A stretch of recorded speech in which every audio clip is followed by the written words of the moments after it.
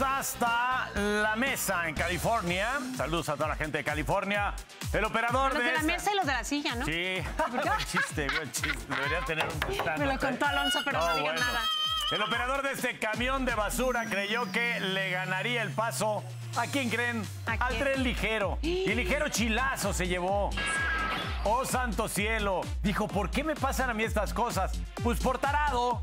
No hubo heridos de gravedad, aunque fue necesario el apoyo de equipos de emergencia. y Pero ¿cómo pensaba que le iba a ganar Esteban? También no es como que trajera un Corvette. ¿Sabes qué? Sí. Pasa diario y en todo el mundo. Los operadores de camiones, de verdad, te, te vendría. Esa es la Se principal. creen de goma.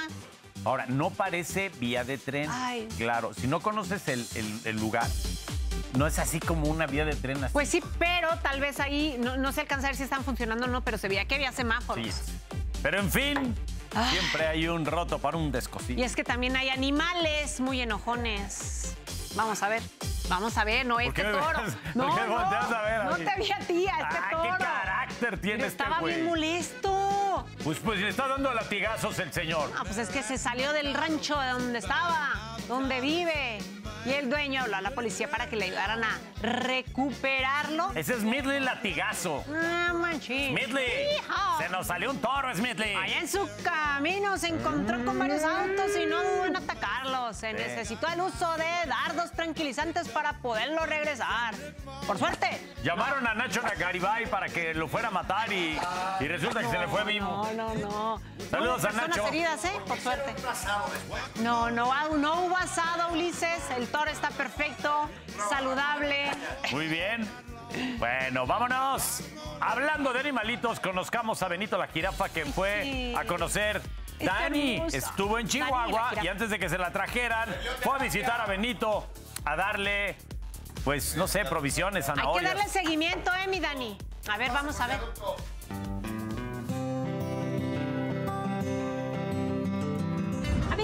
Amigos de Expreso de la Mañana, me vine aquí a Ciudad Juárez a visitar a Benito ya que son sus últimos días antes de ser trasladado. Como pueden ver, aquí atrás uno podía subir y darle de comer o verlo más de cerquita, pero ahorita ya está obviamente bloqueado. Así que vamos a darnos una vuelta para que conozcan el lugar que va a dejar Benito aquí en Ciudad Juárez.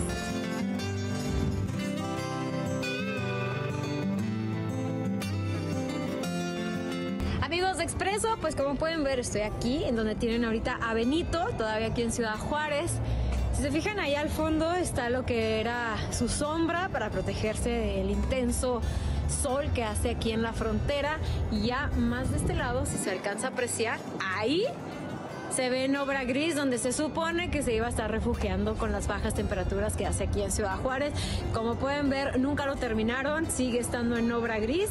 Y también ahí se alcanza a ver un poquito el transportador, o sea, ahora sí que el contenedor donde lo van a estar llevando para Puebla. Entonces, ahí se ve al fondo, ya llegó, ahí está. Y Benito, pues Benito anda caminando por allá.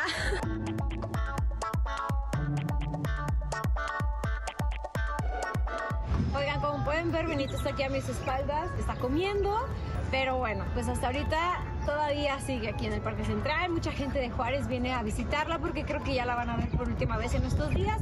Hasta ahorita se ve bien. Lo último que dijeron es que tenía parásitos y que lo iban a, a tratar antes de llevárselo. Entonces, ya estaremos viendo en qué condiciones viaja Benito. Pero mientras tanto, sigue aquí en el Parque Central comiendo y la gente, pues como pueden ver, tomándose fotos y disfrutando de los últimos días en Ciudad Juárez de Benito.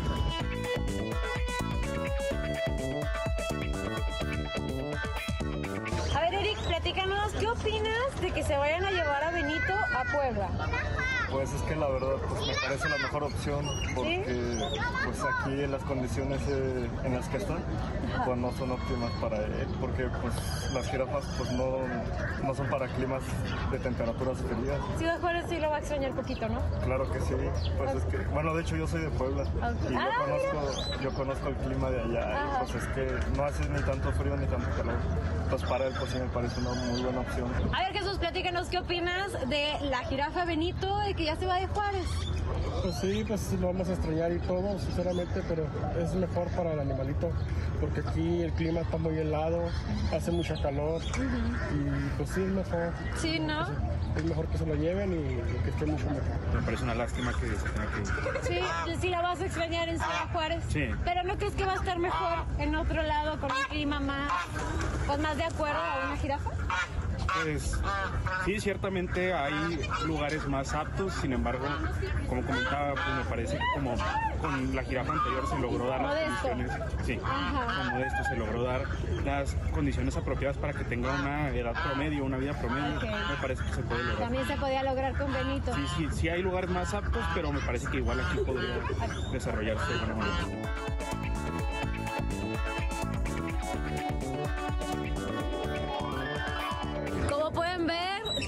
Gente está aprovechando los últimos días de Benito aquí en Ciudad Juárez. Toda la gente está allá porque se acercó. Y bueno, pues era muy tradicional venir a darle zanahoria, manzanas. Hay carteles donde dice qué sí puede comer y qué no puede comer. Pero bueno, pues ahí está la gente disfrutando de estos últimos días de Benito aquí en Ciudad Juárez.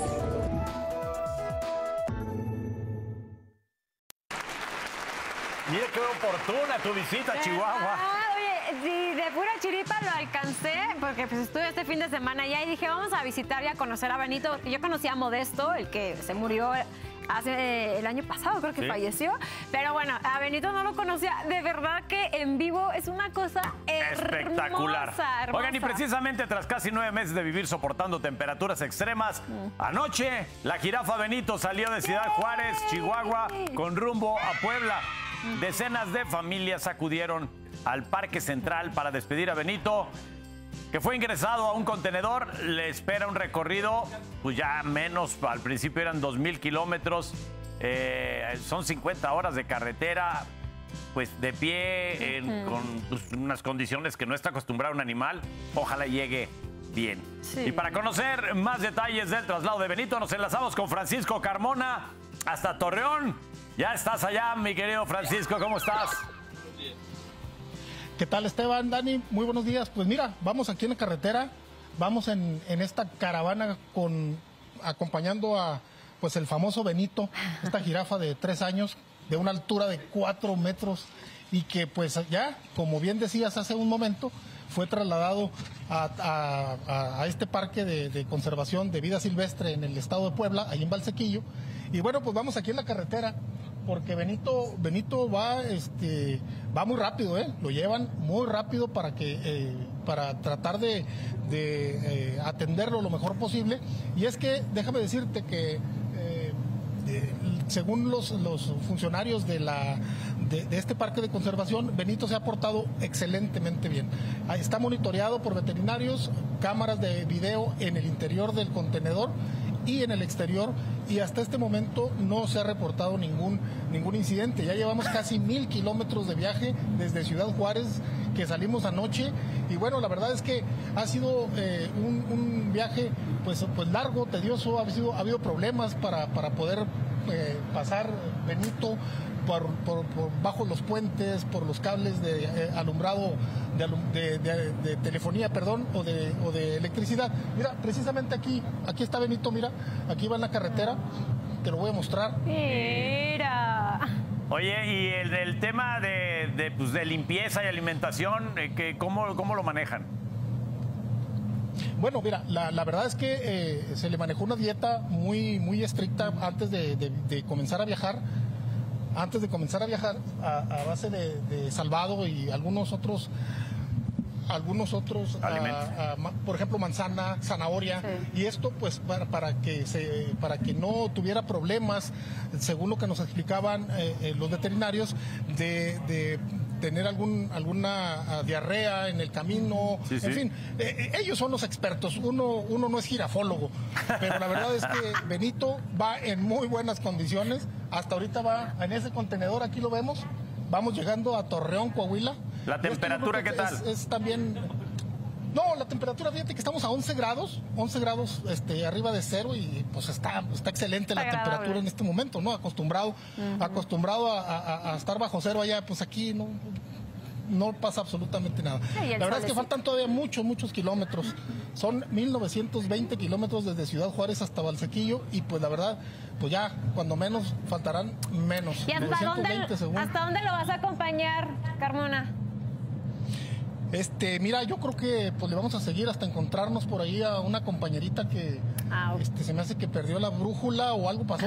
Pero no, Ya te veo. no, ahorita, ahorita, Ya me imagino. Oye, oye, yo creo que voy a terminar en Puebla yo también.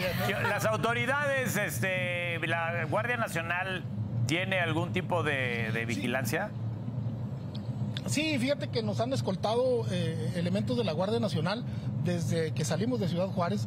También lo hizo la Policía Estatal de Chihuahua hasta el, hasta el límite de estado, ahí, ahí nos, nos dejó. Pero la Guardia Nacional viene al frente y viene también en, en la retaguardia. Vienen eh, varios Eso. elementos Qué bueno, armados, qué bueno. como debe ser su trabajo. Pero Claro. este, hasta este momento ha sido un viaje sin contratiempos, Qué agradable eh, y pues sobre todo... pues, Ahí viene un este puente, cuidado, gigantón. Carmona, porque ahí viene un puente. Mira, vamos a ver cómo pasa. Ay, ay, ay, ay, ay, Ay. Ay. Por nadita y Benito se nos queda en el. En el Pasa muy bien, Benito, ahí. Oye, pues que ojalá y de verdad lo estén monitoreando el tema de los puentes, porque a esa velocidad, pues Sí. golpea la caja y se acabó, ¿eh? No, no, no, no, no, no. Sí, se hizo un recorrido, eso es importante también destacarlo, ¿no? Se hizo un recorrido de la ruta para, para saber la, la- la- la Las altura de alturas. los puentes por donde iba a pasar Benito y eso fue, fue también eh, cómo se, se diseñó esta, este, esta ruta. Te Ah. digo, vamos a Torreón, seguramente terminaremos en, en Zacatecas y eh, pues ahí avanzar hasta Puebla. Pues gracias, eh, Francisco. Vamos a seguir muy, muy pendientes con este traslado porque o sea, se ha vuelto una, una nota nacional. Sí, ¿eh? Digo, el ya se traslado volvió de muy este. famoso Benito. Sí, ojalá y que cuando llegue tenga la compañía de... Muchos dicen, no, pues se iba a adaptar. Sí, se, se adaptan a la tristeza, a la a ver. soledad, se deprimen los animales estando Exacto. solos y bueno... Es- algo, algo Sí. muy importante, algo muy importante, Esteban. Benito va a reunirse con un rebaño de siete jirafas. Ay, qué Son bueno. tres hembras, un, un- una, una jirafa bebé y también otros machos. Eh, Esta, esta manada de siete, según nos explicaban, eh, eh, son muy, muy, muy receptivos a otras, a otras especies, pero en particular cuando vean a Benito, pues seguramente se van a hacer Ah, más Sí, cuates entre todos. y-. Seguro. y ya lo que surja después, ya lo Será que surja historia. después con las otras hembras, ya será cuestión de Benito y esas hembras que estén por ahí. Bien, muy bien, bonita historia. Gracias, Francisco. Muchas gracias. Buen viaje. Seguimos de viaje. Hasta luego. Qué buena. Sudé con Sí, yo casi se, casi se nos queda Benito en el...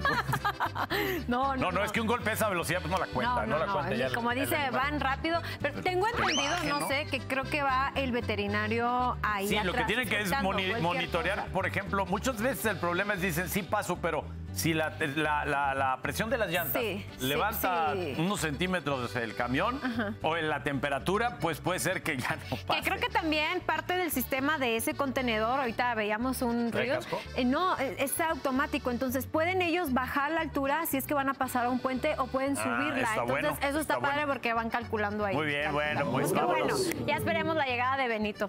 Oigan, vámonos a espectáculos y es que les cuento de Carlos Rivera, pues bautizó a León, su primogénito, con una celebración llena de hermosos detalles que cautivaron a los invitados. En un exclusivo salón de eventos, la pareja decidió adornar los espacios y las mesas con espectaculares figuras de animales que simularon los entornos de la sabana africana en la cinta del Rey León. En el jardín, pues vean, se lució una figura del cachorro Simba de esta película. Como el público sabe, Carlos Rivera tuvo un exitoso ciclo en el, en el musical basado en la cinta infantil y por eso es que ¿Y su hijo lleva el nombre de Qué bueno que no, que no le dieron el papel de Pumba. Menos mal, o de Rafiki, imagínate. Rafiki, ven. Y bueno, obviamente en toda celebración nunca falta el baile y es que así bailaron y disfrutaron los orgullosos padres pues de este de este pequeñito. Se veían bastante felices, así que pues enhorabuena por este bebecito que definitivamente los tiene vueltos locos a la pareja. Miren, ahí están Pues mira, se ahorraron cuando menos al cantante, ¿no? Exactamente.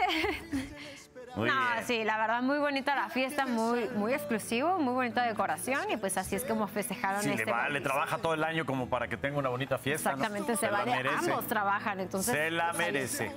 Oigan, yo les cuento de Aleska Génesis Castellano. Pues ella es una modelo de 33 años de edad y una influencer con más de 5.6 millones de seguidores. Pues fue detenida aquí en el aeropuerto de la qué? Ciudad de ¿Qué México por participar en un robo en pandilla de tres relojes de alta gama valuados en millones de pesos.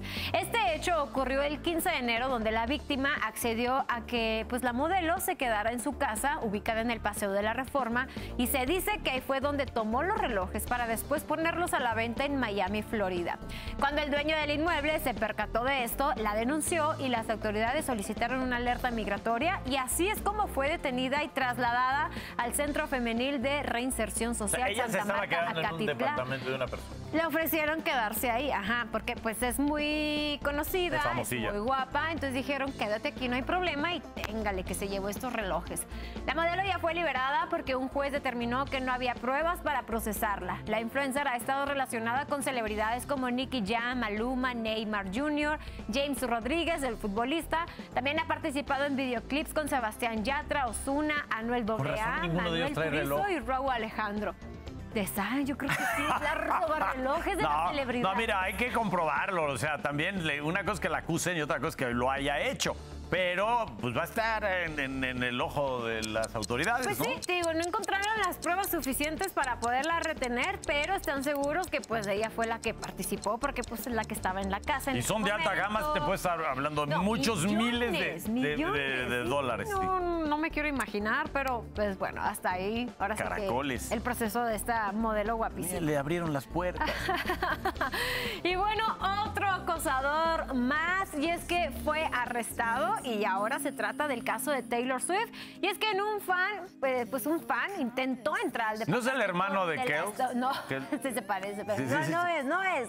Es otro fan que intentó, miren, entrar ahí a, pues al departamento de Taylor Swift allá en Tribeca, en Nueva York. Por medio de un llamado de un vecino fue que los policías llegaron al lugar donde encontraron a este hombre cuya identidad aún no ha sido revelada, ya que intentaba entrar al edificio y testigos aseguran que estaba forzando la puerta y que aparte no es la primera vez que lo ven merodeando ahí en el vecindario y bueno, que lo han visto Oye, también forcejeando la puerta de Yo sé que muchos artistas viven en Nueva York porque pues les, eh, les Sí, gusta y, sí. está, y se vale, ¿no? Ajá. Pero de repente las, las medidas de seguridad de un edificio donde entran muchas personas, pues yo no creo que sean las mismas de un lugar donde una personalidad de estas que tiene tanta fama, tanto dinero y tantos seguidores y tantos detractores, Sí, sí, sí. pues vaya, a- esté tranquila en un edificio de estos. ¿no? Y más si ya anteriormente habían visto al mismo sujeto pues rondeando por ahí. Precisamente por las declaraciones de todos los vecinos es que pudieron arrestar a este individuo que aún todavía al parecer sigue detenido. Entonces, Ah, qué güey más cusco. miedo. Pues. Vete, de- de- primero arréglate la barba porque la tenía muy des, muy un poquito. Chance así le gustas a Taylor, pero bueno. Oigan, ¿ya viste que muchas veces das el, anillo en un partido de base y de B y todo el mundo Sí, así? sí. Resulta que hay un estadio donde hacen prueba de que es brillante el anillo o Ay, no es brillante. Ay, ay. Neta, ve. ver. Mira nomás. Ese güey le dio el anillo y llegó el probador de la veracidad. Ay, no. No es bueno. Lo agarró de maquinita, de esos que salen en espiral. Se lo tiró le dijo, toma tu porquería. Y se fue. ¿Sabes qué, amigo? Esa chava te acaba de hacer un favor. Mira, Así se la pongo. digo, tampoco estaba como para, para, No. para ponerse a llorar. La intención es lo que cuenta. Mira. Hermano, pues yo, tú hiciste lo mejor. Ahora, No. si le dijo que era de, de brillar. Mira cómo se ríe toda la gente. No. Mira, ahí está, pero qué chistoso que en el estadio tengan el, el evaluador de, Es de- que yo creo que ella se la solió y dijo, ¿sabes qué? el verificador de Checarle anillos. cómo vas. Bien, vámonos con Gina Holguín. Esta mañana nos lleva a conocer la fisioterapia infantil. Qué importante es a los recién nacidos tenerlos muy, muy, muy vigilados en el tema Y terapéutico y que estén fuertes Sí. y que estén sanos.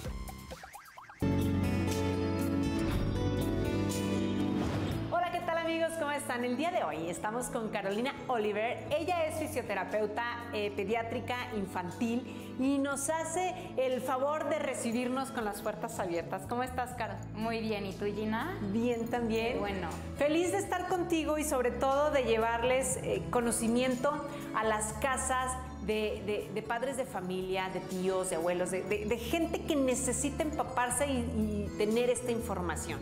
Primero que nada, ¿qué hace una fisioterapeuta infantil o pediátrica? Bueno, nosotras las fisioterapeutas pediátricas nos dedicamos a estimular el movimiento de los niños. Lo que queremos es que se muevan mucho mejor y bueno, esto lo hacemos en los niños que tienen la movilidad comprometida o reducida. Esto es ya cuando el pediatra les detecta que algo no está normal.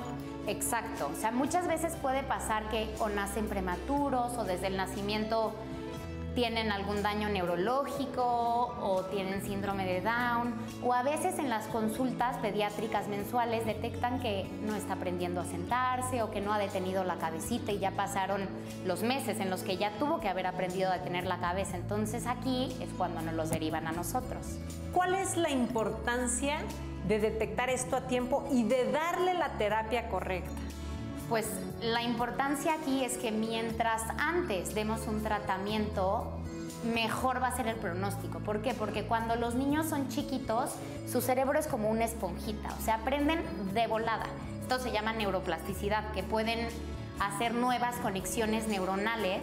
Y entonces, si tú agarras a un bebé de tres meses que ya se está retrasando en sus habilidades motoras, y les enseñas a detener la cabeza, a estirar el bracito y alcanzar un juguete, va a aprender mucho más rápido que si lo haces a los dos años, que ya lleva dos años de retraso. Muchísimas gracias. Y quiero que le des por último un mensaje a los papás que nos estén viendo, tíos o alguien que tenga un familiar con alguna, eh, con alguna necesidad de lo que estamos hablando, este, que, que, pues que no se frenen, ¿no? que busquen más alternativas. Tú diles, a ver pues que estos niños que tienen discapacidad siempre se puede hacer más por ellos. Em, siempre podemos lograr sentarlos, ponerlos de pie, que den pasitos. Hay que tratar de enderezarlos para que puedan jugar, para que puedan ver el entorno, para que puedan ser niños. Entonces yo les daría ese consejo. Qué belleza, qué belleza. Caro, muchísimas felicidades y muchas gracias. Y bueno, nosotros regresamos a Expreso de la Mañana.